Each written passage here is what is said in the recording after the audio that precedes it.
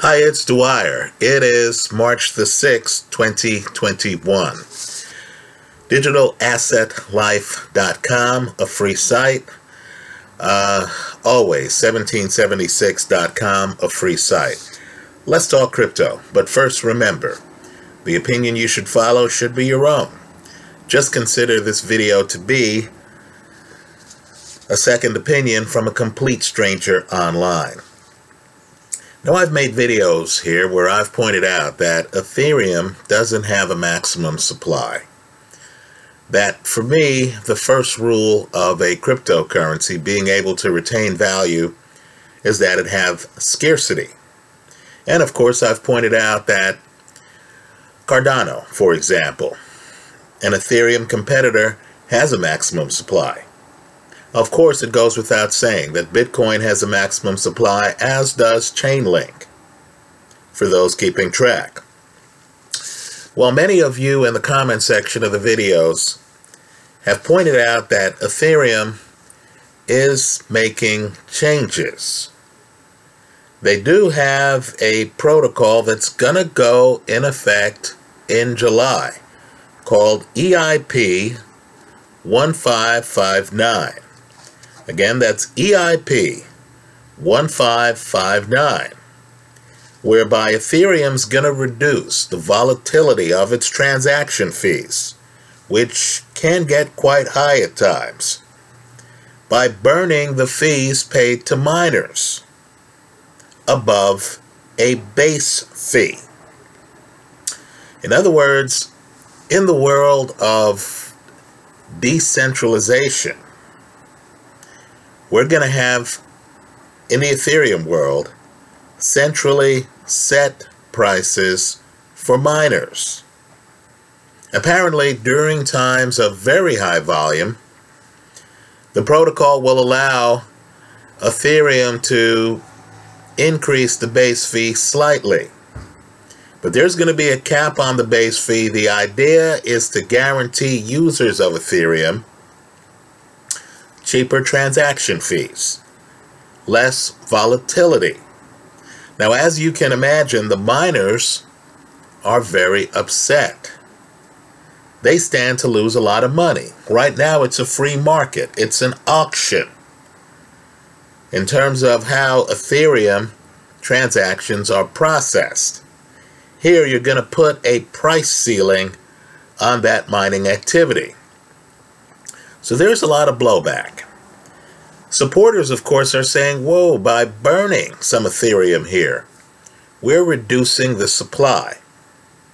I believe as of today, and again, it's early March 2021, it is unclear whether this is going to create the kind of hard cap on Ethereum that you right now have for, let's say, Binance's BNB coin right? Which is in the top 10 in market cap for all crypto. Right? It's unclear to me whether this new protocol that's going to be put in place is going to create a hard maximum supply number like you have with Bitcoin and its 21 million Bitcoin ever to be mined ceiling. Right? But and understand, I am a speculator in Ethereum. Right? I'm not anti-Ethereum. I'm a speculator. I would just prefer a hard cap, establish scarcity. Right? Let me also say, too, I like to see something work before I put a lot of stock in it. So this isn't as good, and Ethereum's up today. This isn't as good to me as seeing it in operation seeing it work for users, seeing it work for miners. Let's understand these cryptocurrencies are ecosystems. Right? There's uncertainty here. But let me make a more foundational point, and I believe it's very important. Even if this works, let's say the EIP 1559 passes, is implemented, goes through, works as intended. Let's say customers are thrilled, right? Their transactions might even be faster as well as cheaper, right? Okay, great. Let's say it works. And let's say that this caps the supply of Ethereum, might even make Ethereum deflationary. Well, understand, even with all of that, and I know I'm going to disagree with some of you, Ethereum is not as good an investment as Bitcoin is. You know, just understand, it can't be because it has serious competition. Right? There is Cardano. There is Polkadot. Hell, there's even Cosmos. Let's talk about how serious the competition is in the world of smart contract processing, etc an investment outfit, a billion dollar investment outfit called FD7 Ventures, decided that they were going to sell some Bitcoin.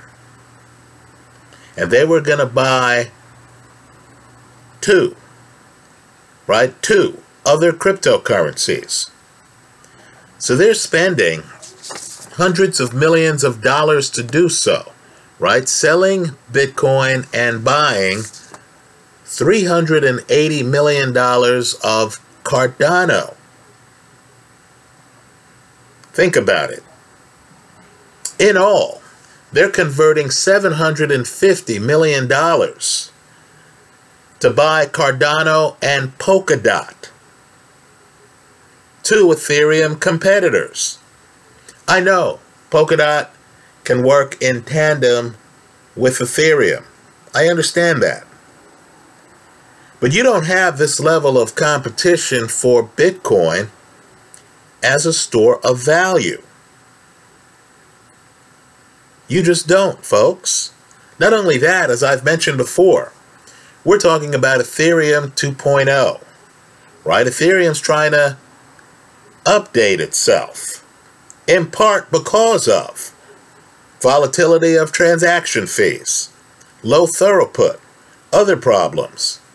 They're going to be forced from time to time to meet the innovations that are incorporated into their competition. When you're looking for a store of value, you want the opposite. You want to set it and forget it. Right? Think gold investing. You want to buy some gold? That's your reserve. You just want to buy it, put it in a safe someplace, and leave it there. Bitcoin, crypto's equivalent of gold, doesn't have the competition that Ethereum has in the space.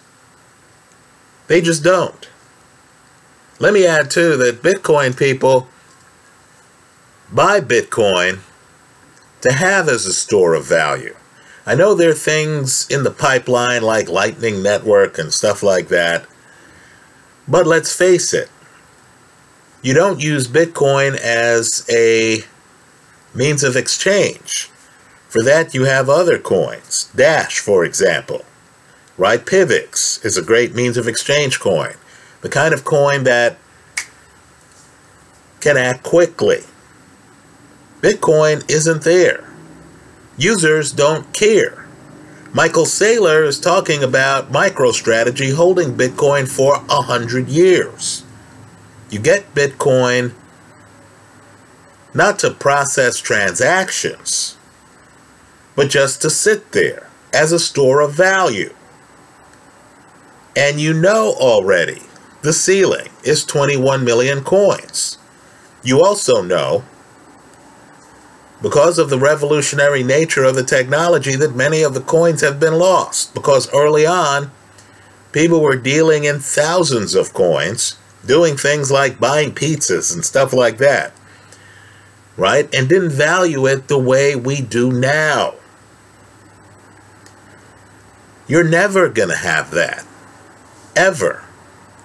with Ethereum. Let me point out too that as Cardano continues to get huge investments from investment groups like $380 million, right? Think about that. A group sold Bitcoin to buy Cardano, right? The CEO, excuse me, the managing partner, Parash Chan, for FD7. Look it up, FD7 Ventures. Talked about how he thought that Cardano and Polkadot, competitors of Ethereum, could rise approximately 20x in the next two to three years. Bitcoin has no competitor on par with Cardano and Polkadot. Bitcoin has really an unrivaled network right? It has the highest market cap in all of crypto. For some other cryptocurrency to come along as a store of value, they're going to take years. Years. And Bitcoin's been around more than a decade. They're going to take years to match Bitcoin's hash rate. And if you don't match the hash rate, then you don't have the security of Bitcoin. So, I'm not selling my Ethereum. I like the idea of Ethereum trying to limit its supply. But let's just say EIP 1559, which has miners upset right now, is a bit hazy on exactly what the maximum supply of Ethereum is going to be. We don't know the fallout of this because it really it goes against the ethos of the free market nature of cryptocurrency. Look, I'm an unabashed capitalist. I make no bones about it. Even though it's inconvenient and at times it's mind-blowingly inconvenient. I like the idea of the market setting the transaction fees for coins. Right? I don't want too much centralization, excuse me, outside of BNB coin, Binance's BNB coin, which operates on the Binance Smart Chain, with the exception of that coin. I don't want too much centralization. I don't want too much top down price fixing, as is suggested by this Ethereum EIP 1559 protocol. So it's early March. Let's see what happens between now and July. I imagine within the Ethereum community, there's going to be a lot of discussion on whether having the network set a base fee is the right way to go. But more importantly, between now and July,